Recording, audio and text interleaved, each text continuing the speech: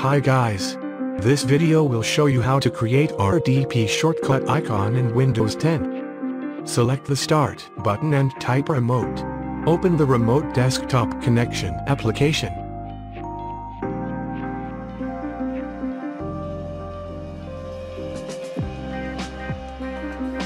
Select the Show Options arrow located in the bottom left corner of the window. View each tab and ensure the settings are configured as desired.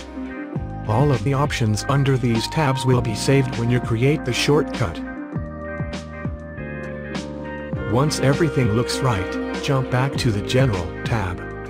Ensure the computer field is filled in. Select Save As. Select the location you wish to save your remote desktop icon to. Give the connection a name, then select Save when ready.